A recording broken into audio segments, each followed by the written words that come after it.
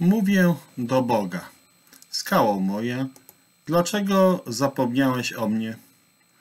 Jest mi tak, jakby kruszono mi kości, gdy mnie lżą wrogowie moi, mówiąc do mnie co dzień, gdzież jest Twój Bóg?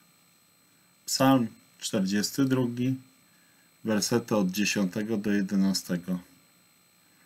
Być może dziwiło nas to kiedyś, dlaczego Ewangeliach jest tak niewiele mowy o uczuciach Pana Jezusa.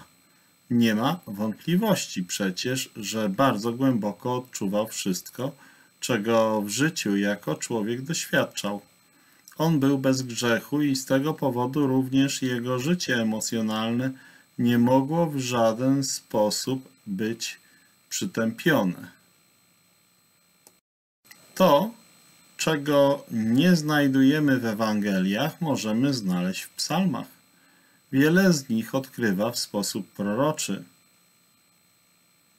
Co to, co Pan Jezus Chrystus rzeczywiście później odczuwał.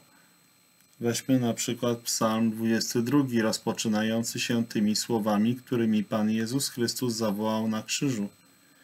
Boże mój, Boże mój, dlaczegoś mnie pozostawił? Albo Boże mój, Boże mój, czemuś nie opuścił?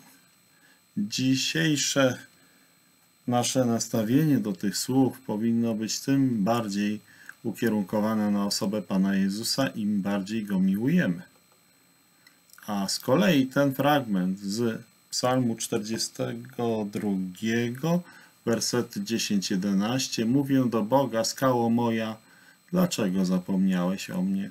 Jest mi tak, jakby kruszono mi kości, gdy mnie lżą wrogowie moi, mówiąc do mnie co dzień, gdzież jest Bóg Twój? I teraz w tym fragmencie zauważamy, że mamy wgląd w serce naszego Zbawiciela, Pana Jezusa Chrystusa.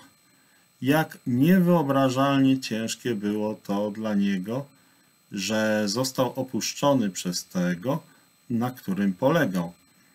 Wiemy, że odpowiedzią na pytanie Zbawiciela, dlaczego jesteśmy my i nasze grzechy, ponieważ zajął nasze miejsce i niósł na sobie nasze grzechy, dlatego święty Bóg odwrócił od Niego swoje oblicze w trzech godzinach ciemności.